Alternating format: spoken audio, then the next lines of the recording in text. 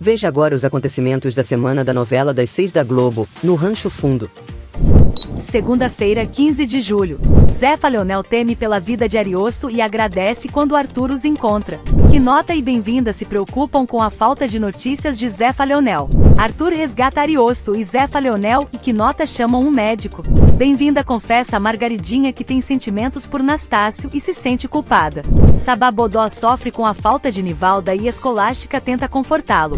Nivalda se insinua para Aldenor. Deodora se espanta com as atitudes de Vespertino. Arthur implora para que Ariosto desperte e se surpreende quando o pai abre os olhos. Terça-feira, 16 de julho.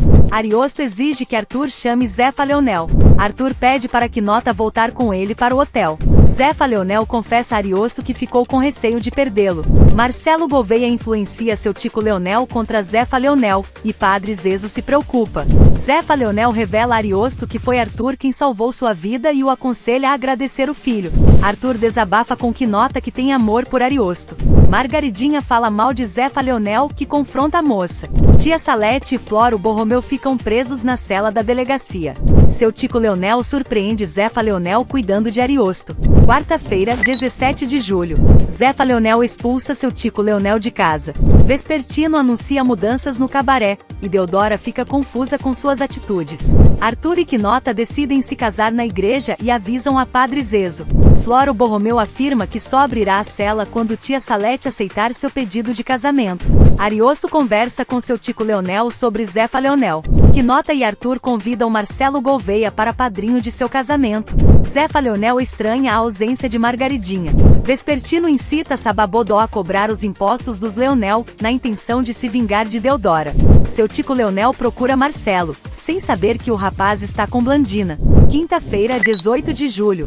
Marcelo Gouveia faz intriga de Arthur para seu Tico Leonel, e Blandina se surpreende com a astúcia do comparsa. Vespertino e Sababodó selam um acordo. Celso impede que Margaridinha se hospede no hotel, e Blandina acolhe a moça em seu quarto. Padre Zezo aconselha Zefa Leonel a reatar com o marido e a garimpeira desconversa. Marcelo Gouveia ensina a arte da sedução para seu Tico Leonel. Sababodó exonera Nivalda da prefeitura. Marcelo conta a Blandina a história de Zélia Noronha e Arthur. Quinota e Arthur anunciam a Zefa Leonel a data de seu casamento.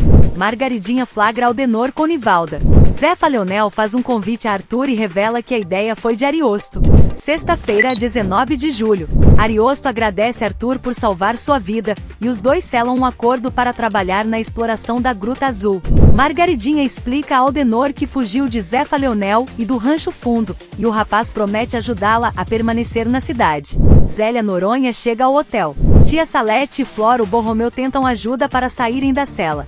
Marcelo sela um acordo com Zélia Noronha para acabar com o casamento de Arthur. Primo Cícero visita o boteco de caridade com Quintilha e as duas se encaram. Tobias Aldonso anuncia a Nivalda que seu cartão foi cancelado. Arthur encontra Zélia. Sábado, 20 de julho. Arthur apresenta Zélia Noronha a Quinota. Nivalda jura que fará a cidade se voltar contra Sababodó. Deodora se aproxima de Zélia. Arthur recebe um convite de Zélia para um jantar a Tracy e Quinota aceita. Quinota questiona Arthur sobre seus sentimentos por Zélia.